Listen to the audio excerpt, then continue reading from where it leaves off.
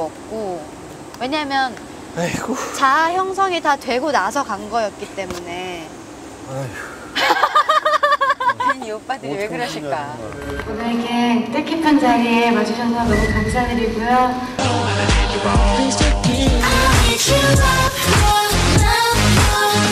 전혀 새로운 환경에서 새로운 스탭들과 호흡을 맞추고 새로운 말로 노래를 부른다는 게 물론 쉬운 일만은 아니었어요. 기록적인 면에서는 정말 그렇게 좋은 결과는 아니었지만 대단하다. 마음도 얻었고 사람도 얻은 것 같아요. 미국 가서 돈 닦고 온 것 같아요. 힘- 그렇게 힘들었을 때 옆에 좀 터놓고 얘기하거나 의지할 수 있는 사람은 이- 있었어요? 미국이든 한국이든. 어떨 때 나도 네. 궁금하더라고. 어릴 때부터 계속 부르는 그러니까. 길 다녔기 때문에 멘토가 있어요? 제일 힘들 땐 누가 누구랑 얘기를 했어요?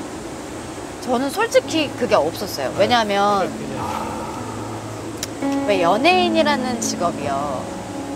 내 속마음을 얘기를 하면 할수록 약자가 된다라는 느낌이 있잖아요.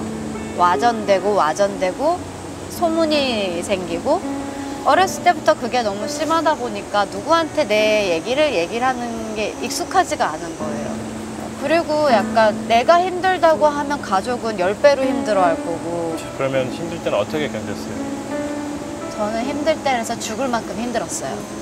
그냥 대놓고. 네. 그냥 어, 그냥 너무 견 좋다. 그냥 네. 견뎠어요 혼자. 네. 근데 그거를 확실히 뛰어넘어 보니까요.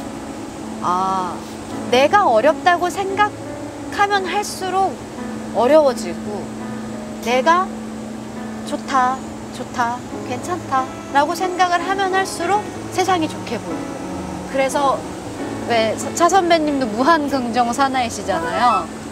예. 저희, 아내가 저는 약간 저도 음. 그때 이후로 아유, 세상을 어려워요. 좀더 밝게 보고 다른 사람들을 보는 시선도 많이 달라지고 굉장히 한 살 한 살 먹어갈수록 이렇게 사람과 사람이 같이 더불어 사는 거를 이제 느껴가는 것 같아요. 아니 근데 진짜 외롭고 어려운 이런 과정이 있었으니까 이렇게 네. 긍정이 나왔을 것 네. 같아요. 그냥 나는 무조건 무조건 긍정은 없는 것 같아요. 그쵸. 분명히 그 어려움 속에서 긍정을 발견하니까 그 긍정이 네. 잘하는 거라는 생각도 드는데. 이제 저 차인표 오빠도 알고 이제 네. 나는 원래 알았으니까 네. 나 무슨 얘기 나왔잖아. 궁금해. 나 돌아 돌아 힘들면 앉아있어요. 연락하라고요? 힘들면 연락하라고요? 라이딩 할 때 연락하시고요. 부모님한테도 안 적었는데 그러니까. 많은 어디서 했었죠?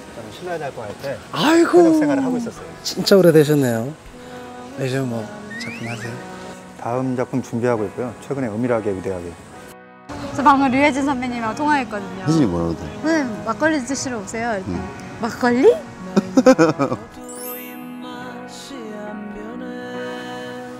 나랑 같이 일을 했던 무술 감독 어, 영화 여러분들이 아시는 그 아저씨 아저씨의 무술 감독이었고 사람이 생각이 착하고 바라요 아, 어, 안녕하세요. 잘하셨어? 무슨가는 박준입니다. 아 예.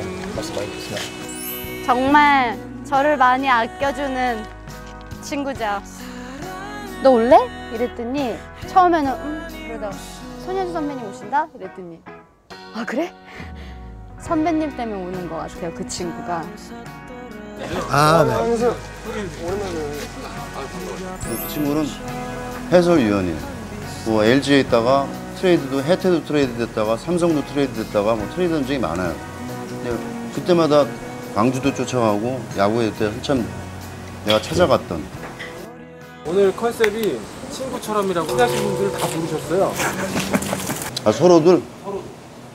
모르겠지 생각을 해보세요. 보아 보아하고 무술 감독하고 야구 해설위원하고 재밌죠.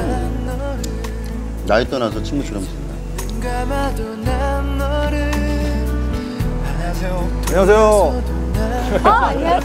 안녕하세요. 어, 안녕하세요. 진짜 오셨네요? 제가 전화 드릴 때는 안 아니 근데 나 그런 의미인지 몰랐어 얘는 맨날 오빠 안녕하세요. 무술 감독. 저희 아들 교과서에서 보고 있습니다. 남양주의 가장 가장 김정한 중에 한아 남양주 계세요? 네, 교과서에 나오더라고요. 저희가요? 제 아들 교과서에 나왔어요.